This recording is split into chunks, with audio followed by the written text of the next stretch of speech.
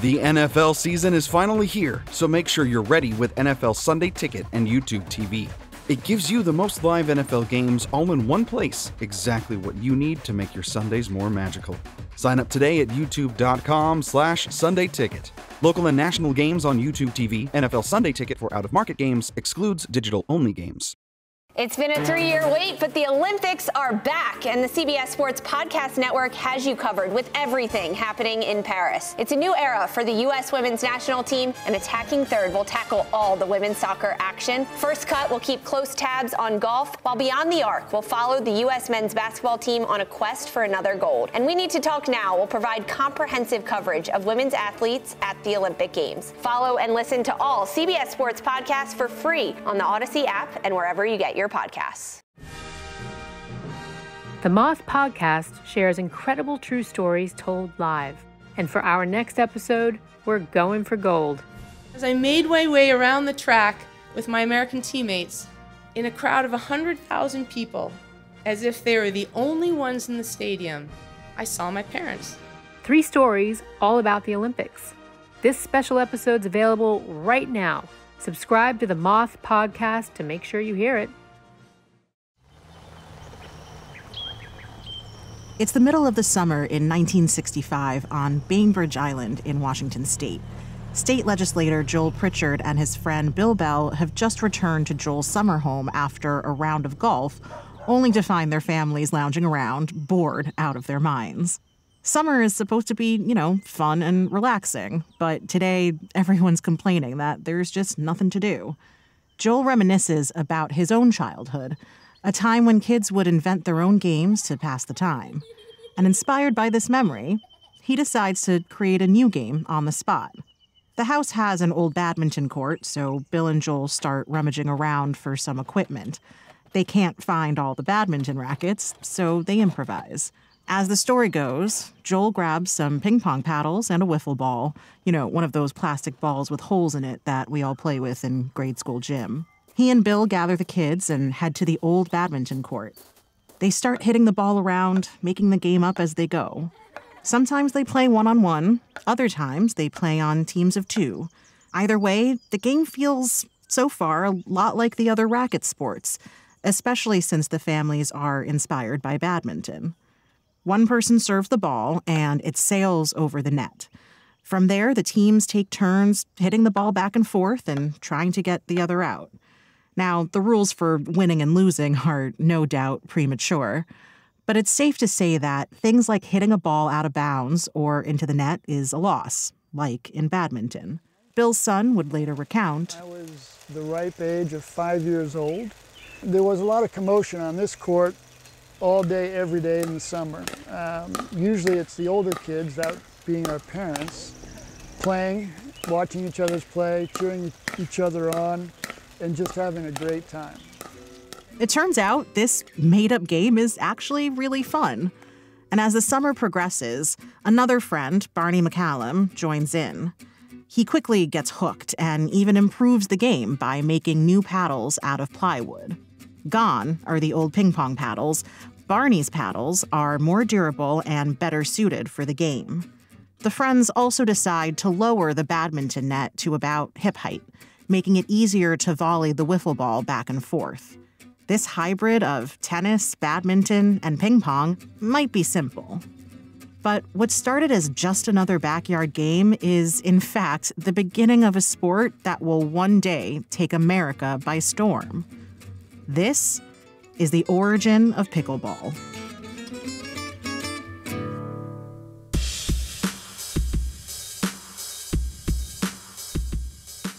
Hey everyone, it's Kavitha Davidson, your host, and welcome back to Sportly.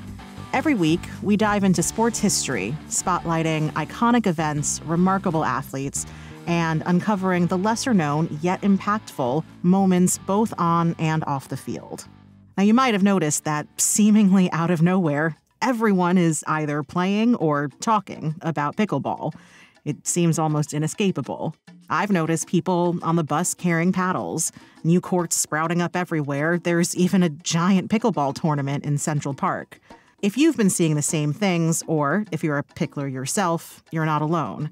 And yes, apparently they are called picklers. In the years since COVID, pickleball has been ranked as the fastest growing sport in the US. The numbers show that this growth transcends age.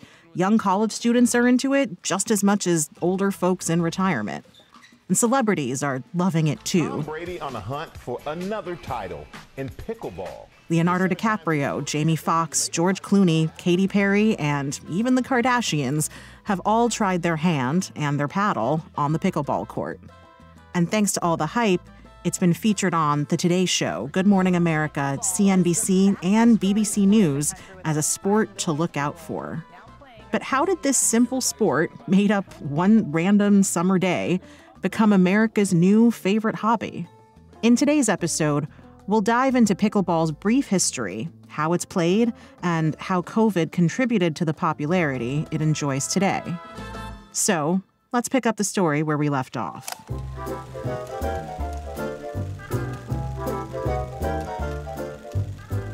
We're back in 1965 with the Pritchard family and their friends on Bainbridge Island.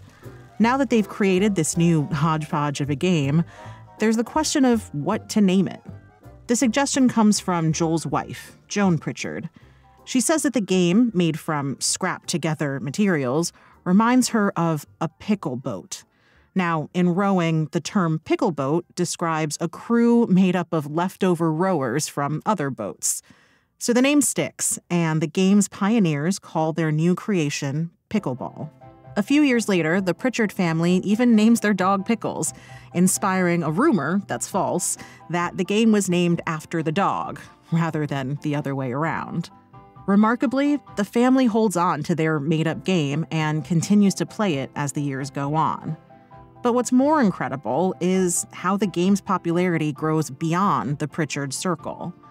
Friends and neighbors catch on, especially after Joel's friend Bob builds his own pickleball court in his backyard. Now, there are a few reasons why pickleball seems to grow in the area after that. One, as a local politician who would end up eventually becoming a U.S. congressman, Joel probably knows a lot of people in high places, which could also explain how pickleball manages to spread outside his neighborhood. Two, it helps that the equipment is relatively easy to come by. And three, even the court itself doesn't require much space. Pickleball courts are much smaller than tennis courts, so people start drawing up courts with chalk in their driveways or at the dead ends of neighborhood streets. Anywhere there's a hard surface for the ball to bounce on will do. The game grows so much that by 1968, Joel and his friends lay the groundwork for an official corporation called Pickleball Inc. They trademark the name Pickleball, and this company begins manufacturing balls, paddles, and nets for others to use and enjoy.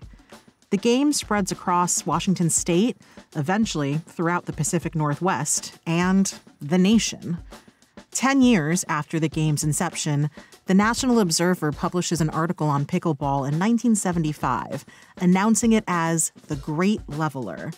You see, the article notes that in pickleball, quote, victory doesn't favor the player who is fastest, tallest, brawniest, youngest, or even the most athletic. Soon after, Tennis Magazine writes a piece on America's newest racket sport. This growing buzz helps catapult pickleball to new heights.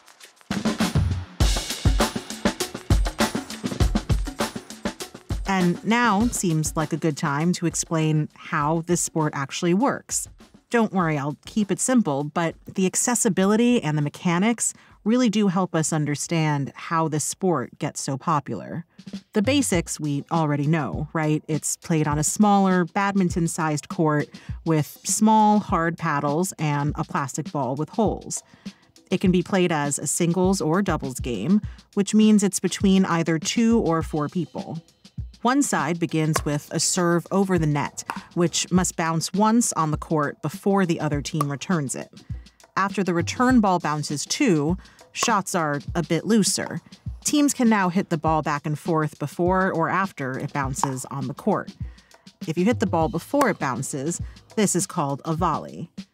But there's one exception to the volley, and it's one crucial rule that keeps the game more about finesse and skill than power, speed, and athleticism the non volley zone. This part of the court is a marked portion on either side of the net, commonly known as the kitchen. Simply put, players can't volley while standing in the kitchen. They have to wait for the ball to bounce once. This keeps tall or especially aggressive players from dominating the game with sudden volleys that are difficult to defend. This sounds pretty appealing if you're someone who can't move as quickly, playing against a seasoned athlete. There are still, of course, ways to get out, like letting the ball bounce twice, hitting it out of bounds of the court, or hitting the ball into the net. In general, these faults will lead to the other team winning a point, with the goal of reaching 11 points with a margin of two. But everything, from the smaller size of the court, which is more accessible, to the holes in the ball, which make it lighter and go slower, helps make the game more about strategy than just athleticism. So, for those who aren't as physically fit or energetic, pickleball offers a welcoming alternative to more demanding sports like tennis.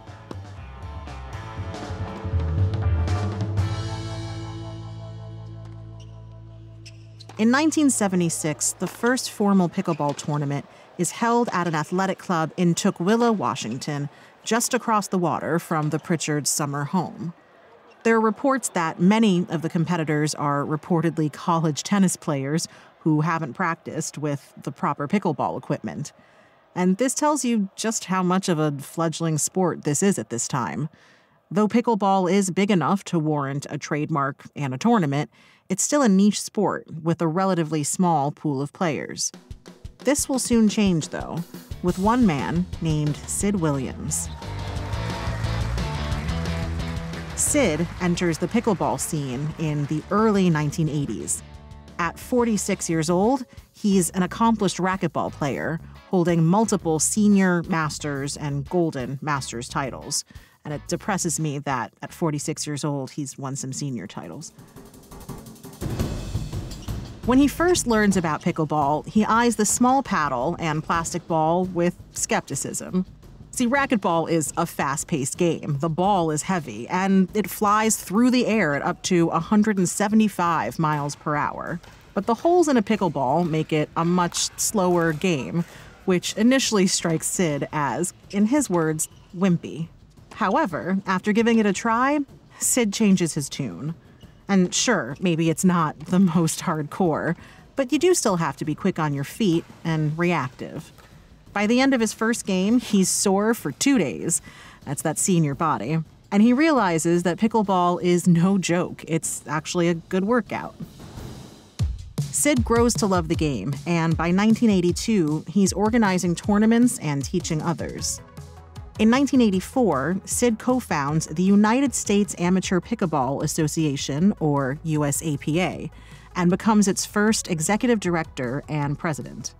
Associations like the USAPA are governing bodies that help spread and standardize the sport on a national level. What's most important about the USAPA is that it opens the doors for a boom in popularity and in formalized tournaments. From its founding through the mid 90s, the USAPA hosts about 10 to 15 tournaments a year. And by 1990, pickleball has been played in all 50 states. Pickleball's pioneers tried some obvious ways to capitalize on the sport's growing popularity. At some point during this 25 year journey, Joel and Barney even attempt to tap into the actual pickle industry.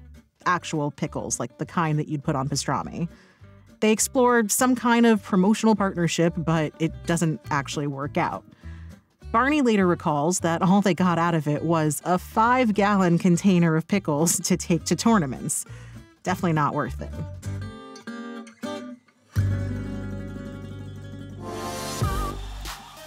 As we move further into the 2000s, pickleball courts bloom across the nation.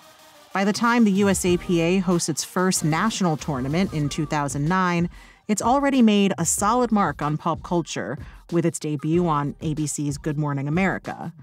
The tournament, held in Buckeye, Arizona, draws 400 players from 26 states and even a few Canadian provinces.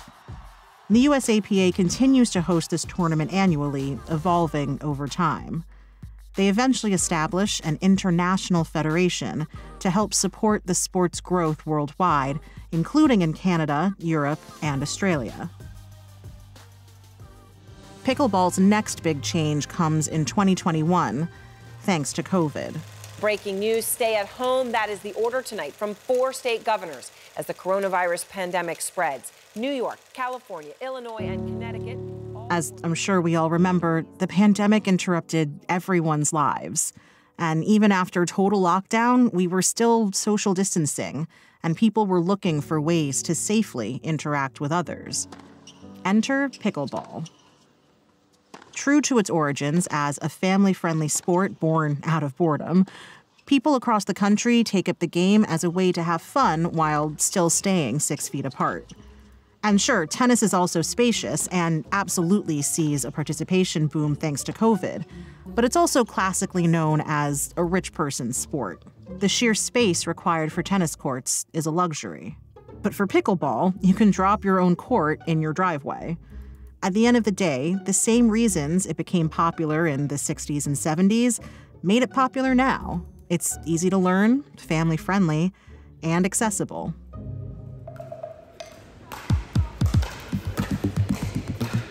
Recreational pickleball continues expanding faster than ever before, with an estimated 36.5 million people trying the sport at least once from 2021 to 2022.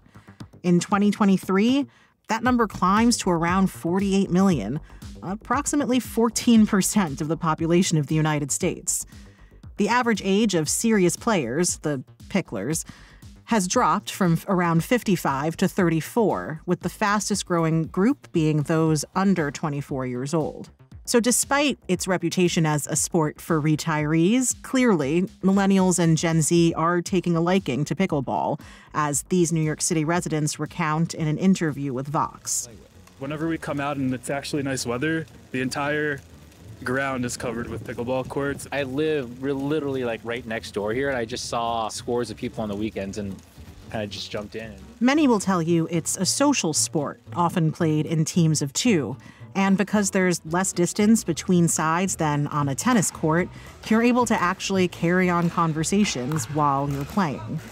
This aspect, combined with social media groups and pro teams to root for, draws in younger players. There's even a dating site for players called Pickleball Dating. Ladies and gentlemen, prepare yourselves because my next guests are the champions of the world's first televised celebrity charity pickleball tournament, Pickled, which premiered tonight on CBS. Please welcome your champions to The Late Show, the Emmy Award winning host of The Amazing Race, Phil Keoghan, and multi platinum country music star, Dierks Bentley.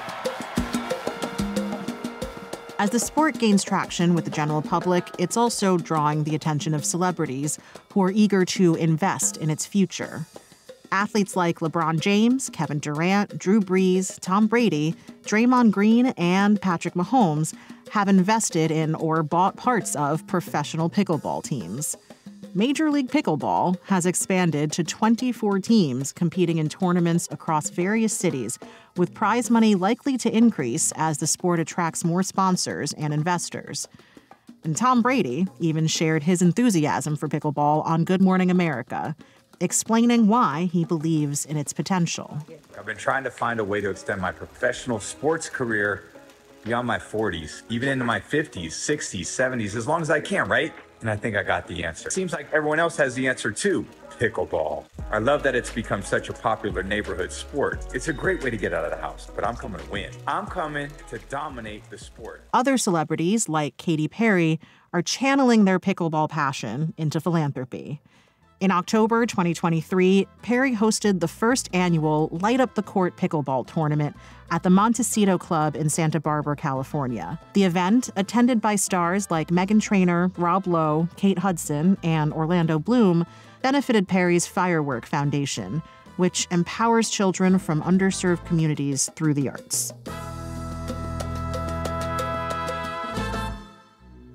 Now, public parks are becoming pickleball playgrounds, and that's not without controversy.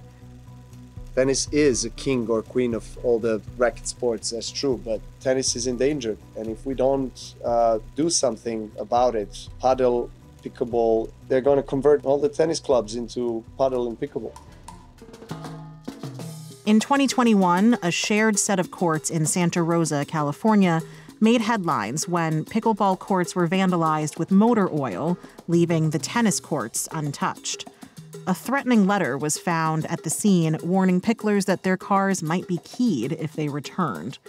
Officials were hesitant to speculate on motive, though they did note that there had recently been confrontations between local pickleball and tennis players, tennis players who resented the opening of new pickleball courts and characterized picklers as rich and entitled retirees. For nearby residents, the noise is the bigger issue. I wake up, I hear it. I walk down the steps, I hear it. It's As loud as a rock concert. The rigid paddle and hollow plastic ball make pickleball relatively loud, leading some areas to limit public play to certain hours or even ban it altogether. This was the case in Glendale, Colorado in 2023. Pickleball. Innocent exercise for some, but noisy nuisance for others. In Glendale, the city council just approved new rules after claims that pickleball players damage local tennis courts. Infinity Park in Glendale has long had tennis courts that were often empty before the pickleball explosion. Afterward, people brought their own nets to create makeshift pickleball courts. Over time, players racked up $100,000 in damage, prompting the city to ban picklers from the tennis court. However, the city then planned to build a dedicated pickleball court, joining the trend of new courts sprouting across America.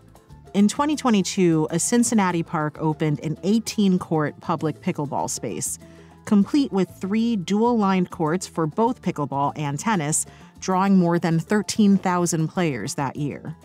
And in Raleigh, North Carolina, a developer invested $70 million in a pickleball complex. While in Florida, entrepreneurs invested $180 million in 15 private indoor pickleball clubs. Now, that's all really admirable. And when it comes to pickleball, I certainly don't begrudge older folks or folks with limited mobility from taking up any kind of physical activity. It's good and it's healthy. But as the game gains popularity, it seems to be becoming increasingly the purview of the rich. Magazines like Town and Country have published articles with headlines like, How Pickleball Became the Preferred Sport of the 1%.